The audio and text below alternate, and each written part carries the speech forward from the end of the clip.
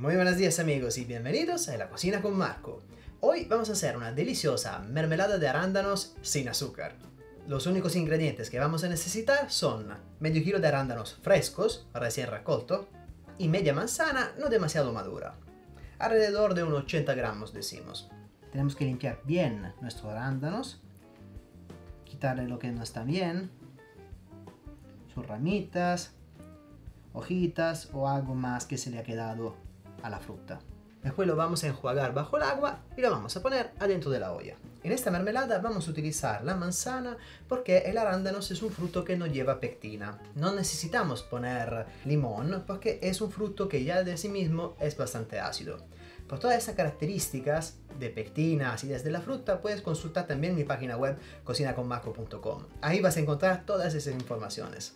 Vamos a poner los arándanos adentro de la olla y vamos a rallar nuestra manzana directamente adentro de la olla. La manzana tiene que ser poco madura y con la misma cáscara, así que tendrá más pectina.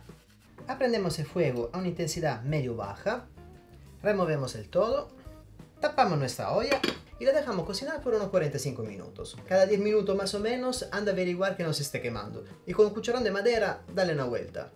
Si notas que se está pegando, le puedes echar un vasito pequeñito de agua. Cuidado siempre con el agua, no le pongas demasiado porque si no después para densarla necesitaremos mucho más tiempo. Oye Marco, me encanta tu canal. ¿Cómo hago para suscribirme? Eh, muy sencillo. Para suscribirte a mi canal, solo te hace falta darle clic en el botoncito rojo aquí abajo, apretar la campanita y no te vas a perder ni una de mi próxima receta.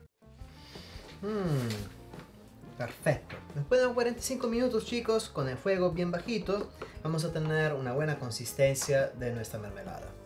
Tiene un perfume chicos, mmm, la fina del mundo. Una consistencia, una textura fantástica.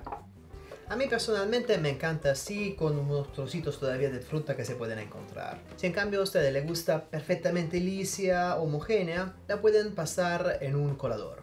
Si quieren entender bien la consistencia, tiene que poner una cucharadita de mermelada encima de un plato y moverlo así verticalmente. Como podemos ver, sí se baja, pero despacito. Eso significa que la nuestra mermelada está de una buena consistencia.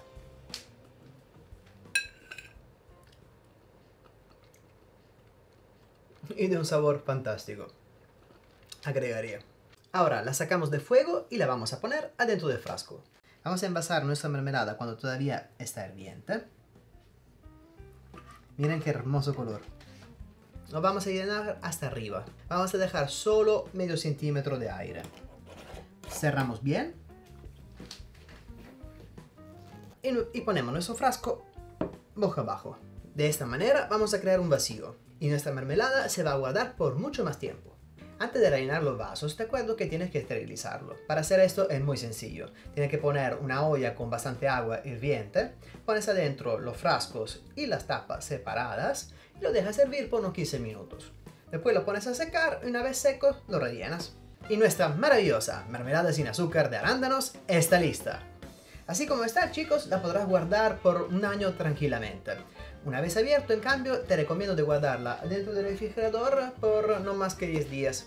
Así que te aconsejo de hacer vasitos pequeños, así que lo vas a terminar rápidamente. Es normal, sin azúcar, la mermelada se guarda por menos tiempo. Bueno chicos, espero que les haya gustado la receta. Si les gustó, no se olviden de darme un buen pulgado arriba de compartirlo con todos sus amigos y si ya no lo has hecho, de suscribirse a mi fantástico canal de cocina que se llama En la Cocina con Marco.